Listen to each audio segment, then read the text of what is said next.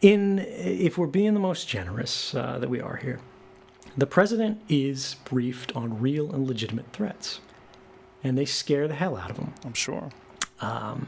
And we can we can all imagine being there, right? Those those of us who remember what the world was like post 9/11, fear is a powerful thing. But the guys who are doing that briefing, they're no longer scared of it.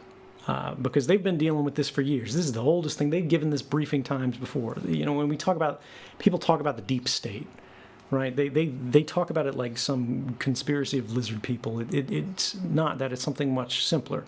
The deep state is simply the career government. It's the people who are in the same offices who outlive and outlast presidencies, right? They've seen Republicans, they've seen Democrats, they don't really care.